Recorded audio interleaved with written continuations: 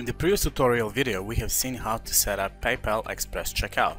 Setting up PayPal Express Checkout as you have seen is quite easy and it doesn't take a lot of time. However there is a bit of a problem, well not a problem, a bit of a disadvantage using the PayPal Express Checkout. The disadvantage is that, that your users, your customers actually have to have an PayPal account. So they will actually log in into their PayPal account and then transfer the funds to your PayPal account.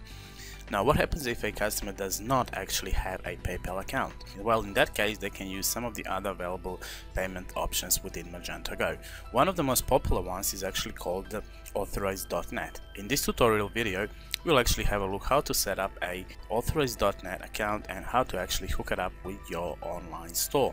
So once again I have logged in into my dashboard, the dashboard of my store and I will go to systems and then I will just scroll down to configuration.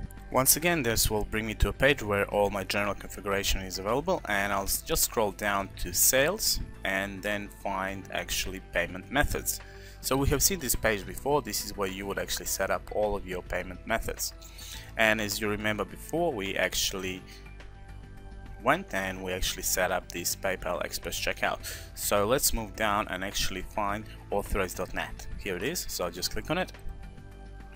And this will now provide you some information that you need to set up before you can actually start using authorize.net.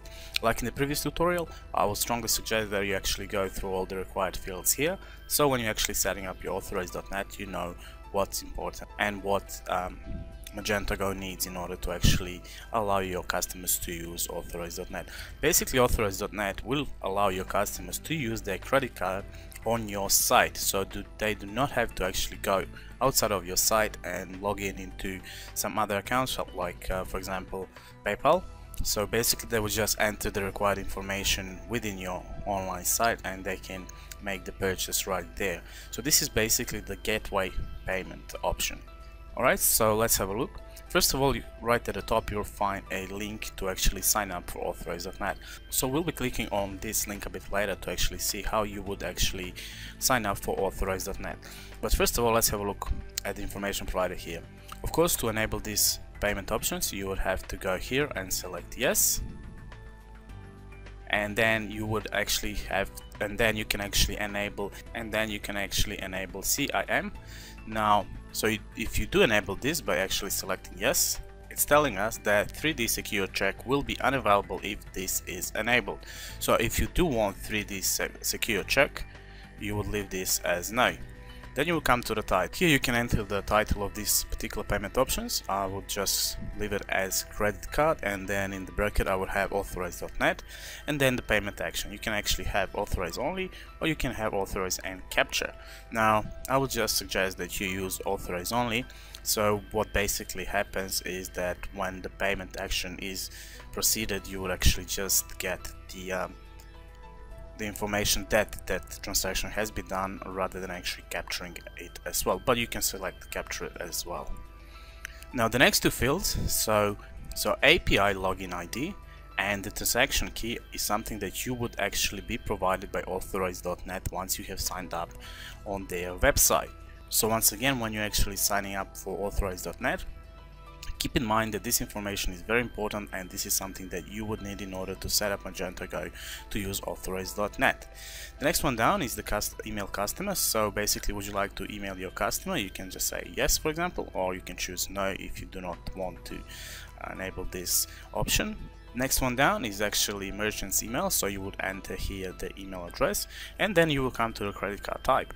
Now you can select American Express, Visa, MasterCard and Discover or you can just click on other and then specify other sort of credit cards once again you can select everything or you can select everything except for other sorry you can select everything except for other or maybe visa and discovery so I would suggest you select those four as they are widely used in the world today and then you can actually move down and you will come to credit card verification. So basically, would you like, before you proceed with the payment, would you like this credit card to be verified? I would strongly suggest that you put yes here, just to just to be sure that you are not dealing with some faulty credit cards and everything else. Now the next one, so which countries are you actually accepting the payment from so where is where are your actual customers placed in now you can actually select by default it's actually selected, uh, selected as to allow all countries or you can just go specific countries and then you will select I don't know maybe Angola and everything else.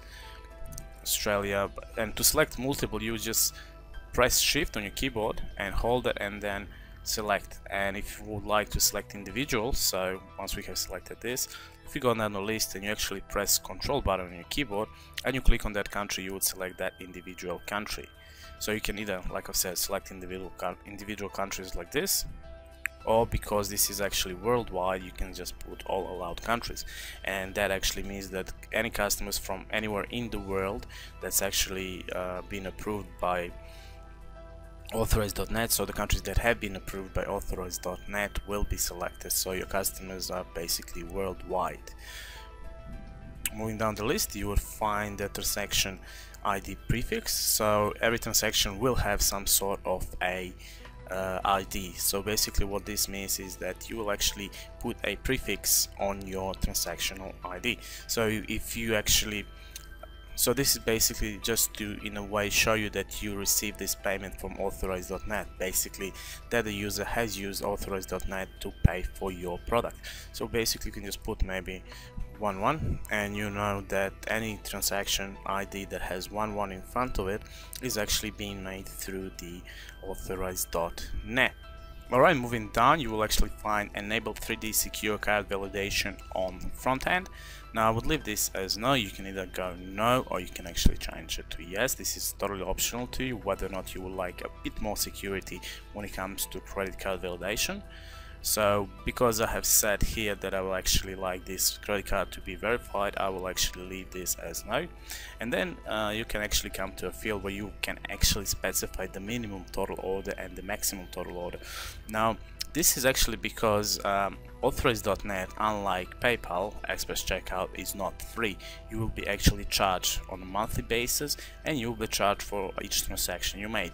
Now, if you if your customer buys something that's actually you know uh, half a dollar, so 50 cents, you'll be charged about 10 cents for each one of these transactions. So basically, instead of earning for uh, 50 cents for that particular product you actually get only 40 so what this actually will do is actually you will set the minimum total trans uh, transaction order. So basically you can say if the customer buys over $20 then they, they can then uh, he or she can use authorize.net otherwise they would have to actually select one of the other payment payment options so here you would actually put the minimum order total and the maximum. So this is totally up to you but I would strongly suggest if you are using authorize.net that you actually do set up at least the the minimum um, order total because like I said if you're if you're selling for example pencils and your pencil is maybe 50 cents and each transaction is actually going to cost you 10 cents instead of actually getting 50 cents you'll be getting only 40 cents.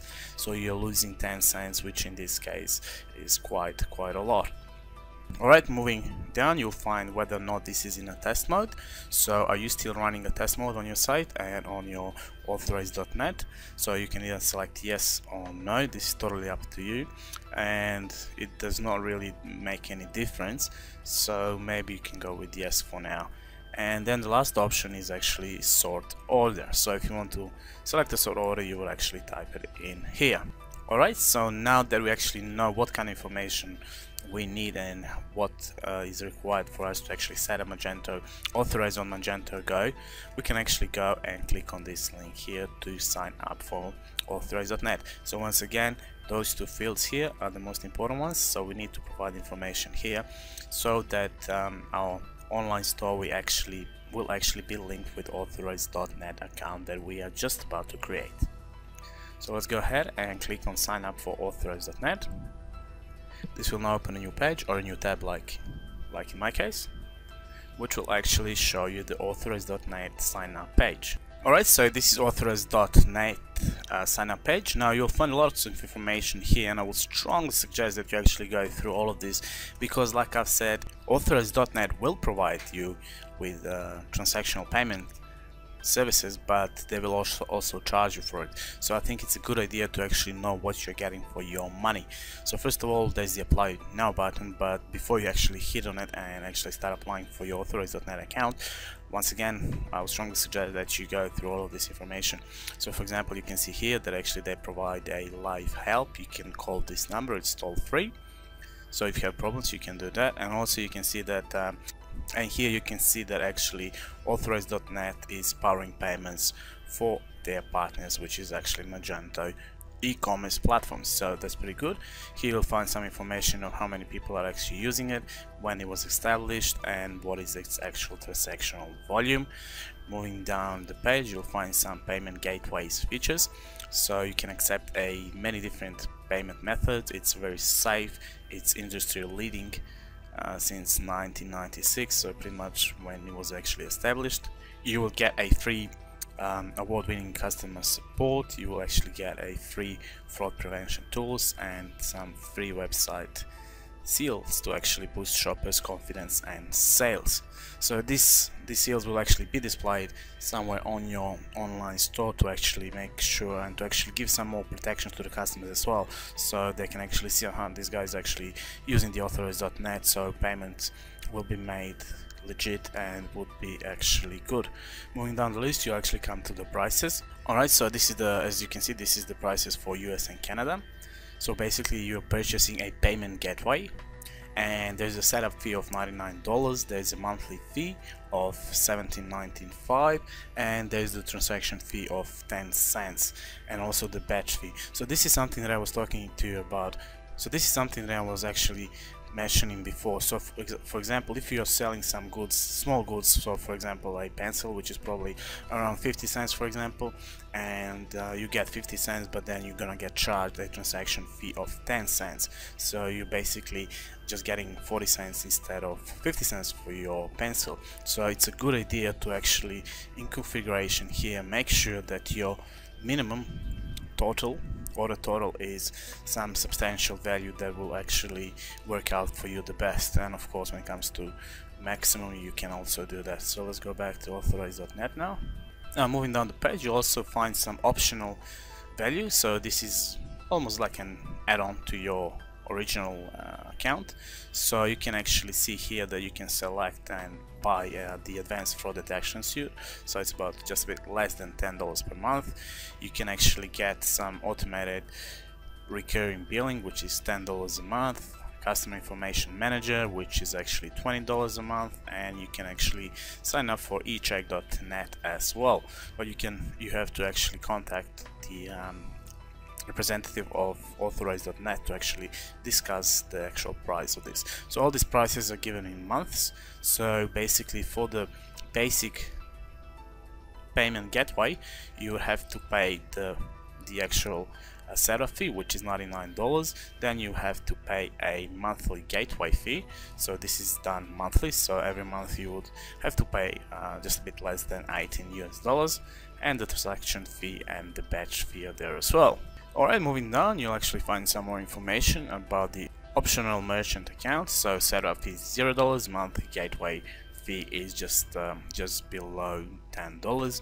There is a transaction fee of zero point twenty-five dollars so 25 cents. There's Visa Visa Mastercard qualified discount rate, which is 2.19%, and monthly processing minimum fee is actually $25.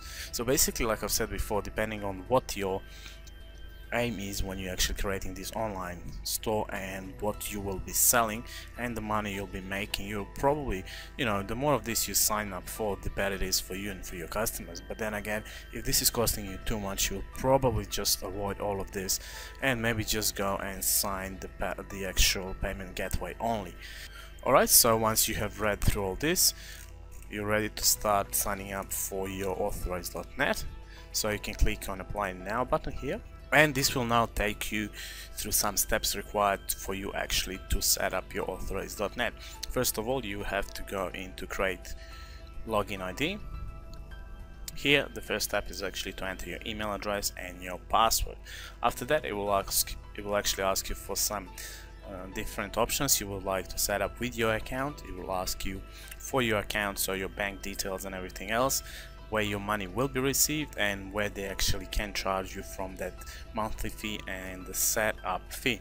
So basically authorize.net is very good as it actually allows your customers to pay right on your online site rather than actually you know leaving your site going to Google or to PayPal logging into their account and then coming back and actually after purchasing after making the payment coming back to your site and everything else. So this will give your customers an easy way to pay for their products that they wish to buy but it actually comes with a price. So it's basically up to you whether you would like to stick with some free services like uh, PayPal Express checkout or if you have a bigger online business you will probably have to set up something like authorize.net as this is this is the easiest and the fastest way for your customers and to pay for their products that for the products they're purchasing. So once again you will get all the required information here once you actually set up once you create the login and you set up your authorize.net account. So once you're done with that you will actually receive an email as well welcoming you to the authorize.net and you will have to verify that you are using the email that you have provided here. So something similar to PayPal Express checkout where we actually signed up and then we had to verify that this is actually the email we're using. So once you're done with that and you get all the information you will come back here you would go up and here you would actually enter the required information. Once you're done with that remember that you have to enable authorize.net now doing all this without actually clicking on yes here is pretty useless. So make sure you click on yes and once you have clicked on yes you can actually click on save config. So this is also very important. If you navigate away from this page all the information all the details here will be lost. So make sure that you actually hit on save config so once you have actually signed up for authorize.net, you have created an account, you have entered all the information required in here, you have enabled authorize.net, you can click on save config and this will now actually save your configuration and your customers will will actually be able to pay on your site using the authorize.net. So basically this is how you would go about setting up authorize.net for your online business.